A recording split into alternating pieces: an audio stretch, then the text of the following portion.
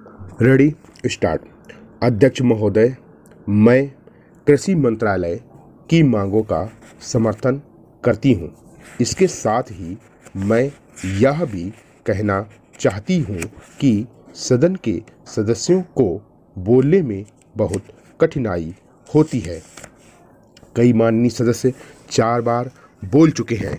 अब अगर किसी महिला को मौका मिला है तो उनको तो सहानुभूति होनी चाहिए।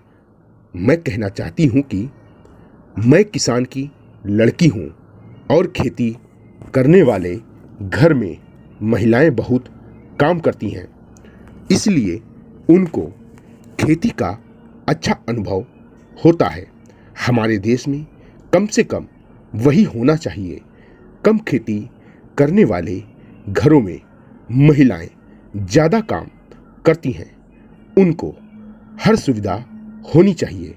हमारे मध्य प्रदेश में इस वर्ष पानी बहुत कम वर्षा है। वर्षा बहुत कम हुई है।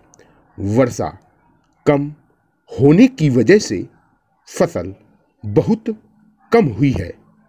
इसलिए मेरी प्रार्थना है कि किसानों का इस वर्ष का लगान माफ़ कर दिया जाना चाहिए।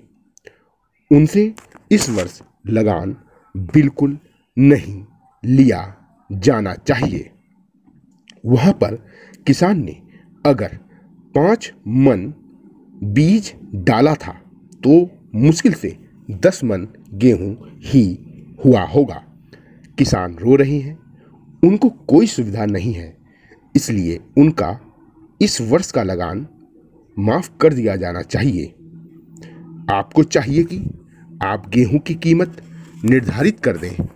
किसान की खलिहान में जब गल्ला आता है और उसको जब वह बाज़ार में ले जाता है तो वहाँ पर व्यापारी लोग उसको कम कीमत में खरीद लेते हैं और खरीद कर अपने घर भर लेते हैं।